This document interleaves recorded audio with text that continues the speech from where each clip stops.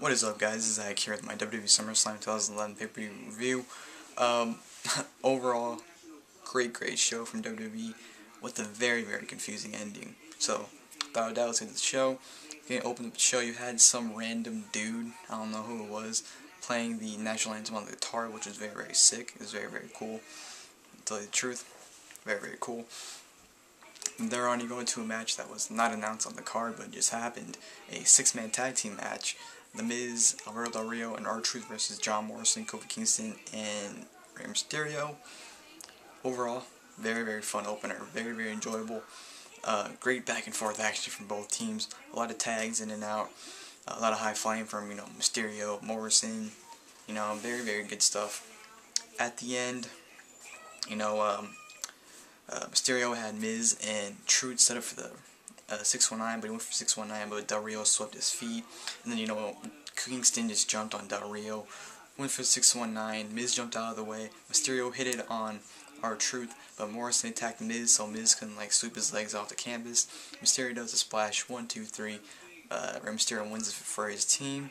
Like I said, very, very good opener, very, very enjoyable. Uh, next match we had was the, uh, what was the next match? Sheamus versus Mark Henry.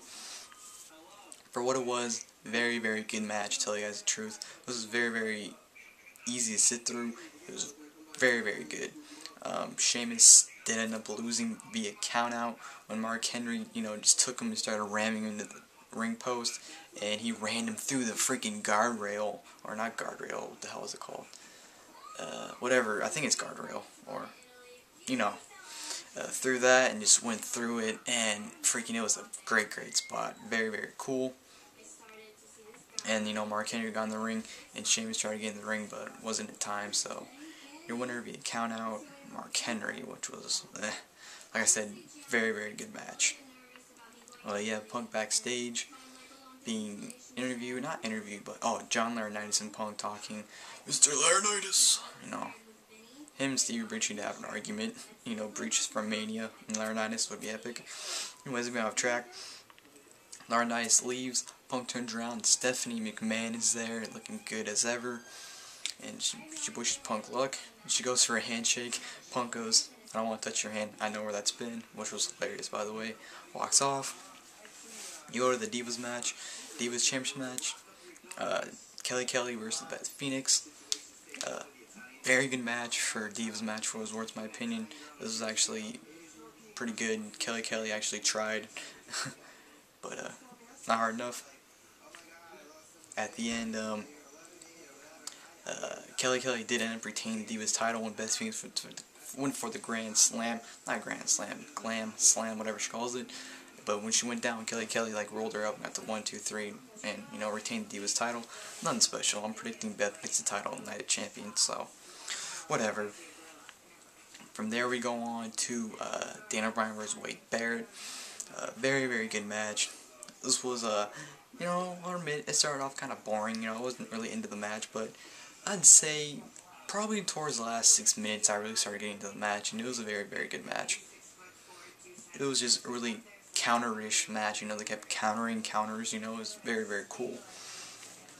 Uh, you know, Bear went for the wasteland, but, you know, Bryan switched into that submission hold where he, like, chasm, like, I don't know, like a bear, I don't know what the hell submission's called. Then he puts into a LeBell Lock, and then, but Bear got the ropes, and, uh, you know, Bear went for wasteland again, but, you know, Punk, not Punk, Bryan hitting those elbows, and got him down. Then Bear's on the ropes, and, you know, Punk, not Punk, I keep saying Punk for. Bryan went for something off the ropes, but didn't connect with it. Bear just like throws him on the ropes and does what um does a, like a clothesline onto the ropes and you know Bryan just does like a flip and then Bear gives Bryan the wasteland the one two three Wade Barrett's your winner which is stupid in my opinion. Uh, having Barrett winning basically just showed that uh, uh, Daniel Bryan winning Money in the Bank was a huge fluke. So that wasn't a good decision. But whatever. I'm thinking Daniel Bryan gotta fix his picture, it's crooked. um, there we have uh, Stephanie McMahon leaving John Cena's locker room backstage, whatever. Then we're going to the no holds barred match for the World Heavyweight Championship, Christian versus Randy Orton. Um, You know, Christian comes out, cuts a promo saying that here's a secret weapon. Edge comes out, mark out moment.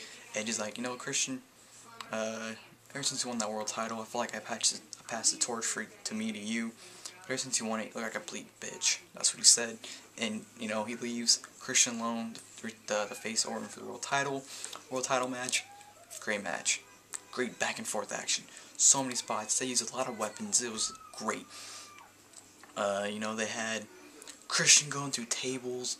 You had freaking suplexes on the tables. You had freaking uh, bunch of kendo stick shots. You had, uh, you know, Christian trying to RKO On the. Orton turns into his own RKO. Christian goes right to the table. It was just a great, great match, guys. You have to see it to believe it. It was great. But, um, you know, at the end of the match, uh, at this point, there's plenty of weapons in the match. There's, like, tables, there's cans, there's kendo sticks, chairs, a lot of weapons in the in the ring right now. And Orton just beat the hell out of Christian literally the last five minutes. Christian literally almost had no offense the last five minutes. But uh, Orton goes for uh, DDTs Christian onto the trash can, which was sick. You know, and you know Orton's going for the finish. He's going to give Christian the RKO on, but uh, you know, Christian reverses the RKO into the kill switch. It's going back and forth. It's a crazy, crazy match. And then um, Orton goes for the RKO into the steps. Christian counters, kicks Orton. He does the same exact, they do the same exact finish they had in the first world title match when Orton won the title from Christian, but he does the RKO into the steel steps. And then gets the 1, 2, 3, Randy Orton's your new World Heavyweight Champion. Sick ending. Very, very disappointed that they uh, gave the title to uh, Randy Orton again. Uh, you know, this makes me feel that this whole storyline was pointless. And if you're going to have a storyline and you give someone the title, then you have them lose it right when they win it. Basically, it's a pointless storyline in my opinion, but nevertheless, great, great match. Their best match they've had yet. And, uh, you know, like I said, at Night of Champions, I really want to see a four-way match. Well, I didn't say that in this video. I say it on Twitter. I really want to see a four-way match with uh, Christian Orton, uh, Sheamus, and Mark Henry now, you know, because Sheamus lost by a count to Mark Henry. So I want to see a four-way at Night of Champions, and I want to see Orton versus Christian one last time at Hell in a Cell. So, that's going to be good. From there on, we go backstage at Triple H, Stephanie McMahon talking, Triple H leaves. This leads to the main event, Undisputed WWE Championship match, CM Punk versus John Cena with special referee Triple H. Uh, great match. Not wasn't as good as their Money in the Bank match, but it was still a very very good good, good back and forth match. Uh, you know, uh, a lot of near falls, a lot of counters, a lot of sick stuff. I actually saw John Cena do a move for the very first time, which I've never seen him do. I forgot what it was though. I thought it was a side scoop slam. You know, he did like freaking how Barrett does it, dude. It was I've never seen Cena do that before. But it was like I said, it was a great back and forth action match. They did a lot of things they did in their Money in the Bank match, but like I said, it was still a great match. Uh, the ending came when um, John Cena had uh, Punk in the attitude adjustment, gave the attitude adjustment. Punk kicked out, and they started putting each other in submissions. Like Punk put him in the Anaconda Vice, Cena put him in the STF, Punk put him in some other random submission. Uh, Cena puts him in the STF again. Punk puts him in another submission. Cena puts him in the crossface. Yes, the crossface. And you know, it's going back and forth. And you know, Cena Punk eventually gives him the hot, the GTS, kicks out. Uh, I think he gives him a kick. I'm not sure what he gave him. And then I'm not sure if he gave him a stiff kick or you know, high knee and then gives him a GTS for the one last time, which, by the way, that GTS sucked. It, like, hit him in the gut or something like that.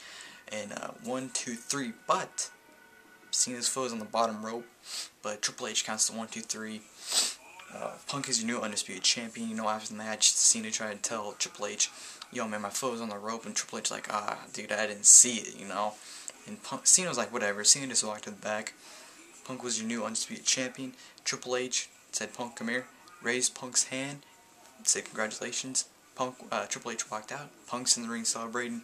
All of a sudden, the confusion comes. Kevin Nash, out of nowhere, comes out and gives CM Punk the power bomb. This is, I'm like, what the fuck's going on? I'm confused out of my mind. Uh, Triple H runs back down, like, what the hell do you think you're doing, man? Kevin Nash runs off. Then, uh, Alberto Del Rio comes out. He says, let's do this. Another referee's in the ring, rings the bell. Del Rio gives Punk, you know, Enzuigiri, one, two, three. Barto Del Rio is your new WWE champion. And Triple H is like, what the hell just happened? You know, Triple H acts confused. He even asked the other referee that came down Del Rio, like, yo, what the hell are you doing? You know? But, uh, Del Rio is your new WWE champion. Del Rio's like, yes, I'm champion, I'm champion. And, uh, Punk was knocked out in the ring. And, um, you know, just this pay per view had me really, really confused by what the hell they're doing. I mean, bringing Kevin Nash out of all people into the storyline was just very, very random. But I don't know what they're doing with this. I don't know what the hell, the kind of direction they're gonna head with this. But anyways, nevertheless, SummerSlam, great pay per view. I don't know what anyone thinks of this year WWE, but WWE 2011 has been a great year. Great television, great pay per views. Besides, you know, two of them was you know sucked, and you know they had one good pay per view. But besides that, every pay per view so far have been great to amazing. So kudos to WWE for a great year so far. And um, you know, I don't know how long this review is. How long is this review exactly? 11 minutes, that's it's good. But anyways, my review, guys. Uh, SummerSlam, great pay-per-view. Hope you guys enjoyed it. I'm Zach, and I'm out, guys. Thanks for watching.